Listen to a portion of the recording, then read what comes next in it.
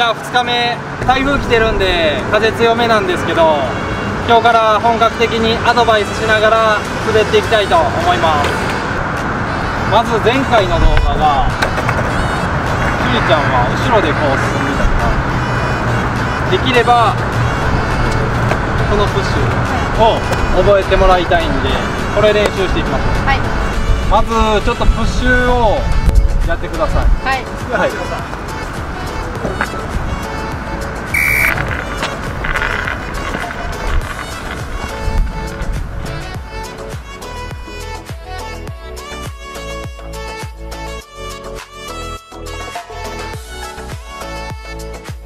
はいじゃあ滑り見せてもらってプッシュちょっと直していきたいと思います。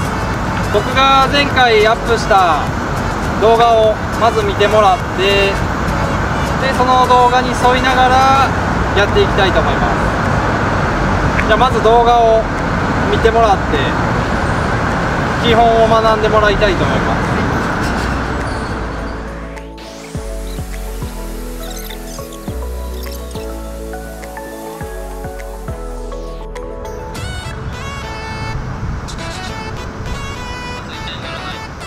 はい。じゃあ見終わったんで今見た動画をちょっと意識しながらやっていきます。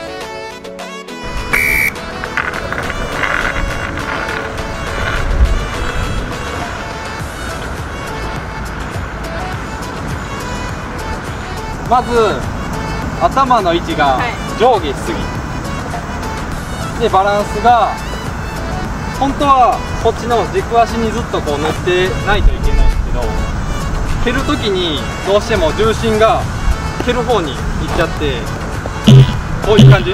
のポッシュになってるんで常にこっちに片足立ちしてこう蹴る。蹴る足はもう地面をすらすっていうイメージ。蹴るというよりあもなるほど。はでやっていきます。い。頭の位置変えずに常にその形で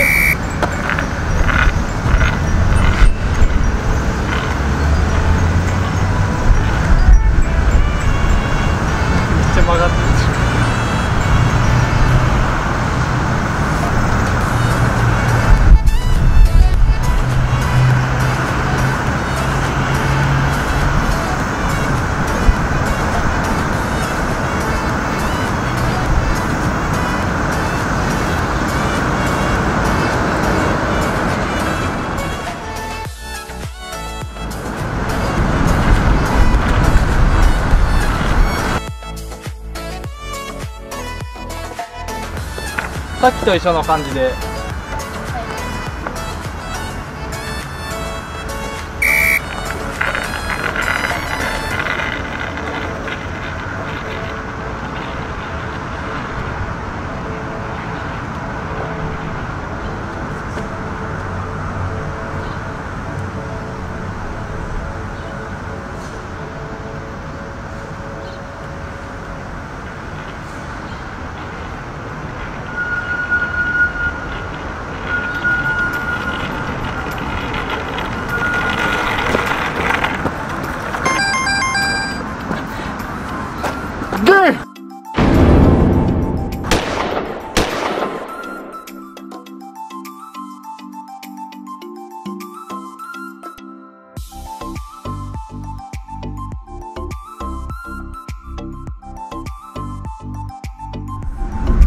それでは次回の動画乞うご期待